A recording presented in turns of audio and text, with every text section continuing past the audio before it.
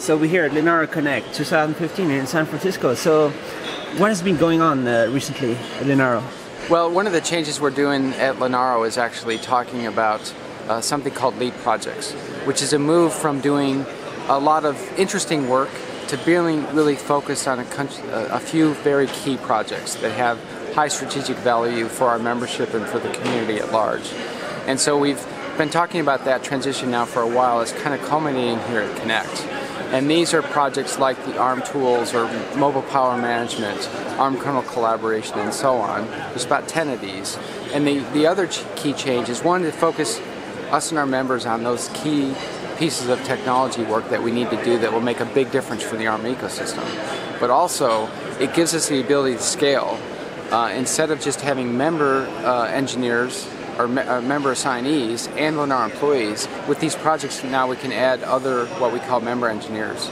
So these programs are no longer contained by just what the resourcing by default Linaro can do. It's now what our members can add to it because these projects are things that they're very interested in and they are willing to participate and give us additional people to fulfill the, the real uh, missions of each of these lead projects. So, are you managing the resources and the time and the, the priorities yep. in Linaro? Yes. So, so there, there, was so many different requests, like so many things that yes. people wanted. Yes. It was too much. It was too much. And so what we now have done through the uh, funneling these through the lead projects, you know, the, the, the, the people in charge of the lead projects are going to be the either the director or the manager for the project itself. Um, the project manager and the technical lead. Those three people determine will become the leaders of that lead project. They will determine scope, schedule, and resources.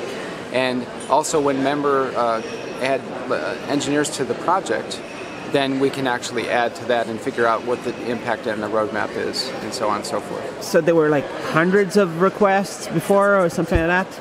Well, yes, we actually did it through a system um, we called Epics, and we had 107 of those Epics and then each of those had a whole bunch of additional things underneath those, and we were getting additional member requests to, to make changes at a lower level. So, what would those requests look like, for example? Um, it was like something like what? Add, surprising enough, we our toolchain we actually support a, a Windows version of the toolchain for uh, Microsoft Windows, and one of the features requested was Python. So Python scripting enablement inside of the toolchain uh, we had it for Linux, but we didn't have it turned on for Windows. It was that kind of request. It turns out that's a, a useful thing to do, so we are going to do that. But it was how that request came to Linaro was a bit difficult to track, and it wasn't really focused on the, the people who needed to make the, the decision for that project itself. And, and so, how does now the the the what do you call it? The lead uh, lead projects. Lead projects. Yep. What do they look like? Is like bigger stuff? They're Is bigger. Bigger. Yeah, bigger. So. Um, the, the way to think about a lead project is a very large scope. It probably has the need of 20 to 20 plus engineers. Could be as many as 100 or more uh, because of the scale of the work you're trying to do. So it has a big impact on uh, the ecosystem itself, where you're trying to head to. Um, and so instead of saying, well, it's just a tool chain for Windows, as an example, it's, it's really what other ARM tools are needed in order to make all of the, not just the tool chains itself, but also tools like debugging and so on that really help other projects actually do their work. So it's really looking at it at a bigger level. These things have a time frame of more like, you know, instead of a few months, they may be six, eight, nine, twelve months or more and then in duration. And then from there, like any good project would do, you break down the work into lower level details to say, you know, here's the, the pieces we need, here's the experts we need to do the work. Like in an early phase of a project, you may need a, more architectural help. And we did that on the ODP project where we had uh, need for more architectural people and they came in from member companies um, helped us in that phase, and then they were able to not necessarily be dedicated anymore, but they could be consulting resources later. So are all the engineers in Linaro and the, the outside companies, the members, they can see all these leading projects on the yes. system? Yes. And they can say, I want to be on that, and they yes. can re- they can like say, I'm good for that or for that, and yes. they can switch. Yes, they, they can, can, move go around. They yeah? can have an, uh, a mem- what we call the member engineers can be uh, in for a short period of time and then they don't necessarily need to be involved at that point or they can come back in later. They can switch around who they want on the project because it, it just depends on what the needs of the project are. And we do that tracking through, uh, uh, we use Jira as our tool to do that.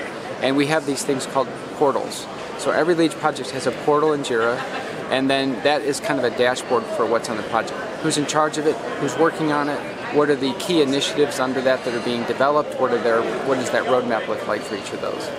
Because um, the efficiency of uh, engineers working together is a big, complicated thing, and Yeah. uh, there's a lot of companies in the world that have these issues, right? Yes. And uh, is Linaro one of the best in the world at managing this or not? I think we are have been good, but we can get better like anybody else. So we'd like to be world class uh, in doing this together on these large projects. And I think um, there's always room for improvement. And I think we realized in working at, at the lower level that it was hard to kind of put all the pieces together in an effective way. So that's why we've made this kind of a, a significant move to lead uh, tran- project transition. And what do the engineers think? I think the engineers are very supportive. The members are very supportive. Uh, in a members meeting we had um, uh, recently in China, where we brought all our members together, we talked about this in more detail.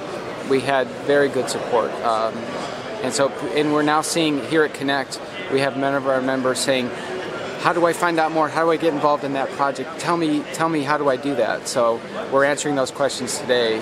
Uh, and that'll really be a good kickoff from this point forward. So if Linaro is already kind of uh, quite successful and quite uh, positive thing, Yep. what if suddenly there's a whole bunch of new companies, everybody wants to join with 100 new engineers or something? Like, will it be possible? Is it possible to scale to, to just like put everybody in different groups and make it happen faster and stuff? it, it would be a good problem to have, and I actually think we're starting to see that. In fact, the ODP project has a lot of external uh, involvement as well because it's a completely open project. Um, you know, it doesn't. Nothing scales forever. You know, you can't have a thousand engineers easily. Although the Linux kernel is done effectively that way, but they have a different, slightly different model.